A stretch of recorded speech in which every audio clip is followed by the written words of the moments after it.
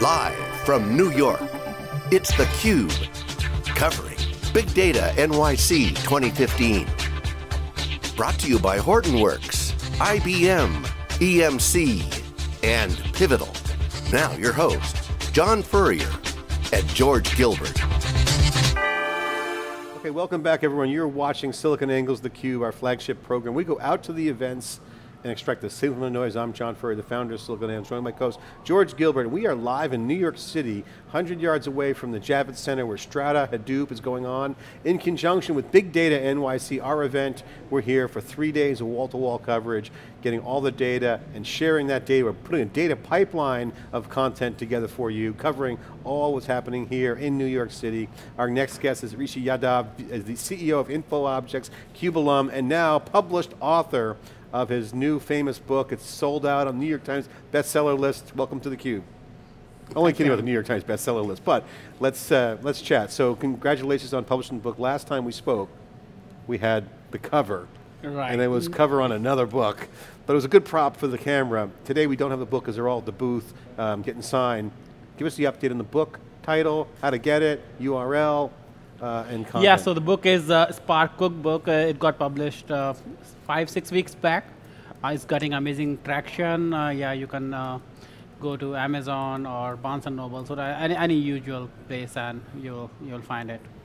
So what was the big thing? So let's just revisit our story, because we've, we've been well documented on theCUBE, the interviews, you can go search at uh, youtube.com slash siliconangle on InfoObjects, you look at the videos. Going back three years ago, when we chatted, it was not obvious to everyone in the industry as it is today. I mean, they should, they should call this, rename this event from Strata Hadoop to Spark World. Because all the talk is Spark, Spark, Spark. Okay, even some ancillary announcements. But you're on the front end of that curve. Tell the story, and are you happy you made the bet, and what are some of the outcomes that you guys are doing today from a product standpoint and then customer benefits? Yeah, so we, we took a big bet on Spark, and uh, that's been a blessing for the company. I mean, for a consulting company, uh, choosing one path and then getting all the inbound client leads. I mean, that was the, that was the biggest uh, proof uh, uh, for us that it's working. I mean, we before Spark, we focused on Hadoop in general, and uh, there we had to struggle to get clients. And the moment we focused on Spark, the business business has been has been really really good. So I saw Merv Adrian had a tweet from Gartner just earlier today saying, finally everyone at Hadoop is talking about data in motion. That really is kind of categorically discussing real time. This is some of the real time analytics pieces that you guys are focused on. How far along has the industry come with respect to Spark? Certainly it's on the radar of everybody. You got some success companies being developed. What are you guys seeing in terms of Spark vis-a-vis -vis Hadoop and how it all fits with moving the ball down the field, faster innovation? So as far as Hadoop is concerned, the Hadoop storage, the HDFS, right? I mean, that's become a de facto standard in the industry. Uh, in fact, uh, HDFS, I would say, is also eating the lunch of HBases and Cassandras of the world. Uh, because uh, what's happening is, uh, with the new file formats like Parquet and all, now HDF, the, what HDFS may, did not have was the schema right? And now with the file format uh, like Parquet, and um, what's happening is that now it's as good as uh, having a database, right? So you have all the distributed power of the database, right? And for, scan, for scans. Mm -hmm. in, mm-hmm. in, other words, like MPP type scan and aggregate. Um, but the HBase and Cassandra were more oriented towards point lookups and simple transactions, no? Um, you know, where, where HDFS was kind of a different, different end of the spectrum. Yeah, so HDFS, the problem with HDFS was that you could put anything and everything there, right? Yeah. Which was a good thing, right? As far as putting the stuff was concerned, as well as data ingress was concerned. But when it comes to taking the data out, right, when, when you're trying to read the data, at that time, uh, you have to figure out that what type of format you want to put the data in, and that had its own challenges, right? So schema being uh, being separate and data being separate. Uh, what has uh, happened with uh, Parquet and uh, ORC format and a couple of few uh, new formats coming in that is that now one file will have its data, the file will also have a schema, right? And in Spark at the same time they they moved uh, from uh, the RDD to a data frame, right? So data frame also has uh, data in it, and it also also has schema, schema in it, right? So now in one simple call, you can read the data and load it, load the data the way everybody is used to loading the data. That is in the case of databases, right? So, but database is a very, very small subset. Here you're talking about petabytes of data, yeah. right? So now you can access petabytes of the data the way you are used to accessing in the databases and at the same low latency as you are used to accessing. So the paradigm that we're seeing, I want to get your thoughts on this. George, I know you got some more questions. Like, hold on for a second. I want to, want to get, uh, get the perspective here from the expert. The old model was put everything in Hadoop. You saw that, made some money, did some good business with customers, and then realized probably what we're seeing even today. Good call, by the way, because Gartner's also saying that POCs are up, but productions aren't as heavy, so you, good, good decision to go with Spark. But you move the data into Hadoop and you move compute to the data. That's where storage has got value, hence the Cloudera announcement. But now the big trend is pipelining, getting into the flow and using real-time machine learning, being access to that, trapping on data and learning about the data, the machine data. Machine speed is faster than human speed, so there's a new streaming, and we hear all these things. Talk about what this is going on. Can you share your thoughts and color around the trend of, not the Hadoop, putting compute to the data, but happening in line, in the memory, in the data, in the flow. Yeah, so we, it would not right, be right to talk about uh, the streaming part without talking about the IoT piece, right? Uh, so uh, IoT piece. So uh, one thing is IoT is that you see it and all the sensors and bulbs and all, right?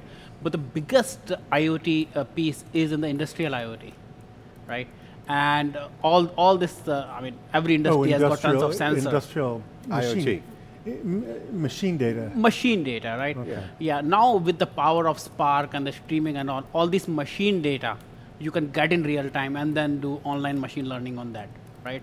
Yeah. So you're you're right, John. That on on one side we just uh, were storing data using Hadoop and doing some analytics using Spark here and there.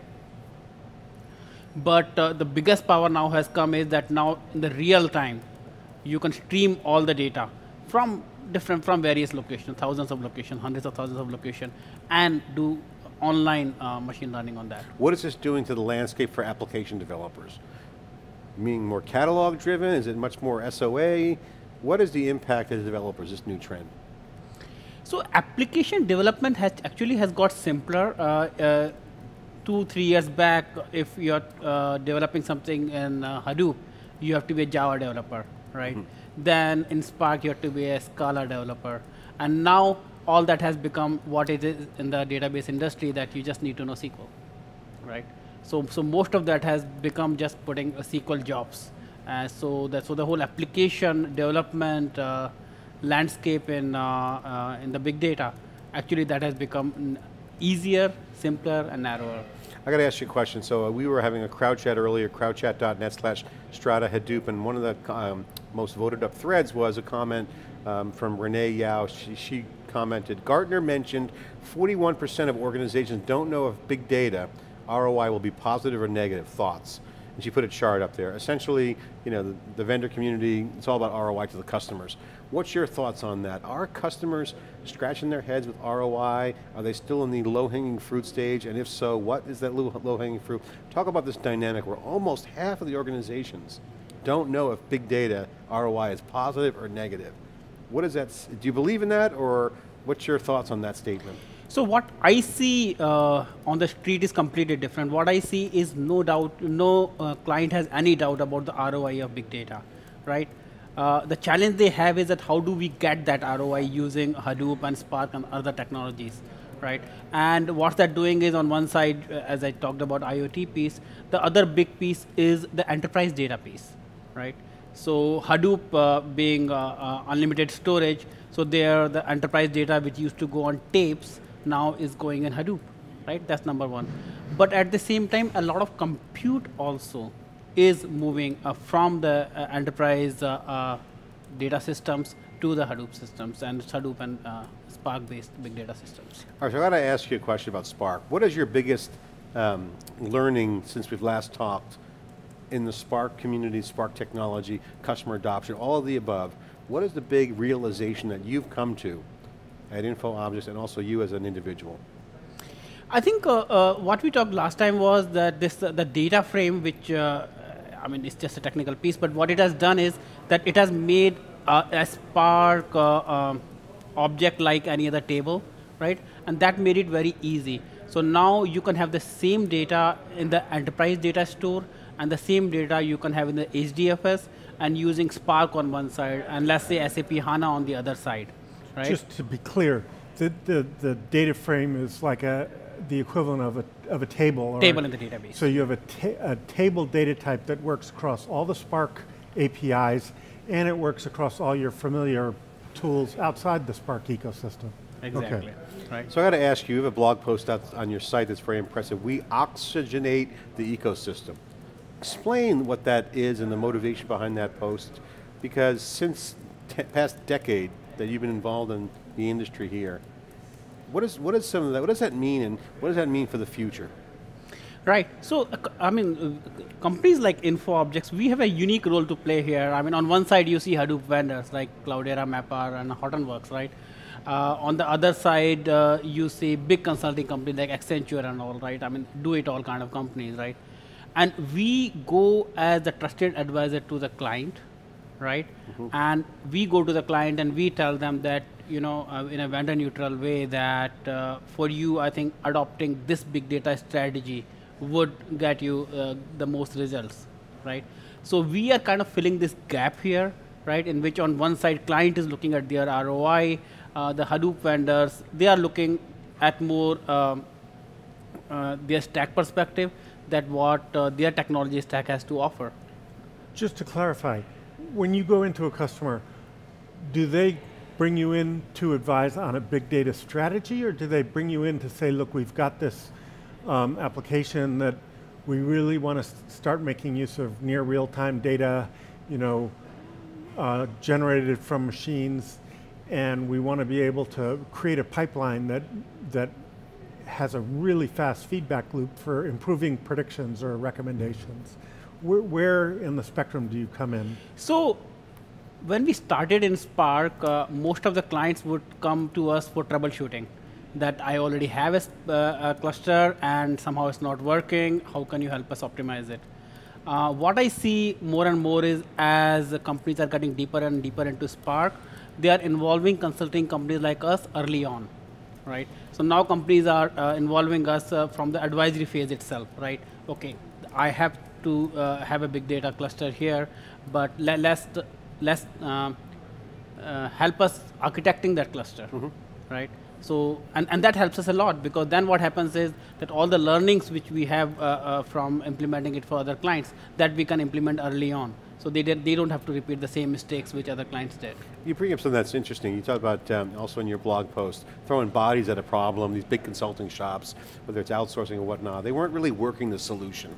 They weren't really being a trusted partner, even though they have a, a relationship. Um, and Jim McHugh from Cisco said on theCUBE earlier today that a lot of customers have been vendor hopping. It's kind of like party hopping. You go to one house, the, the next one, uh, mainly to test, oh, they got this version of Hadoop during that early exploration stage. So that party hopping, kind of vendor hopping, we're seeing people out of that phase, at least for the most part. There's still that going on, but for the most part, they kind of tasting around. What does that mean for the customer who's looking at the, hey, I've tried a little bit of Hortonworks, I've tried some Cloudera, I got some EMC, I got the Pivotal. They're like, okay, they need to step back. What do you guys say to that customer? What is the main message? Yeah, so it becomes a challenge, and customer when when they do vendor hopping, uh, they are not happy about it, right? No. Because they say that this vendor hopping is happening in our time at our cost, right? If we already knew that what right strategy we have to follow for our needs, we would not even have to get involved into that part, right? And that's where InfoObjects comes as a trusted advisor. As I said, that now more and more clients are involving us early on, right? And at that time, we always look at what client wants, right? We do not even care about what stack a specific vendor has. Sometimes we can even uh, combine the stacks uh, to look at the client needs, right? So, so that's where that's where we come, uh, and we are completely vendor neutral. I mean, we do not we do not represent or resell any any vendor solutions, right? So that also help clients a lot. That in fact, what's happening is, say, client may be expert in their own industry, and now because they are partnering with us, now they have also become big data expert, right? Now, loaded with this expertise, when they uh, attack the big data challenge, right, their, mm. their strategy is much more successful.